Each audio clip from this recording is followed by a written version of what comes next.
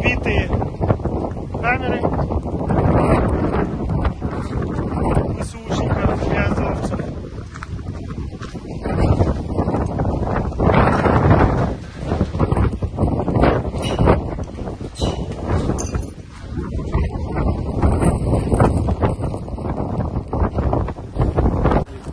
Парни, расскажите, как э, ушатали эту технику врага? Облетали территорию, искали противника, обнаружили хаммер. Вот. Огневым действием было нанесено поражение. Результат на лицо. рассказать. Ебали и все.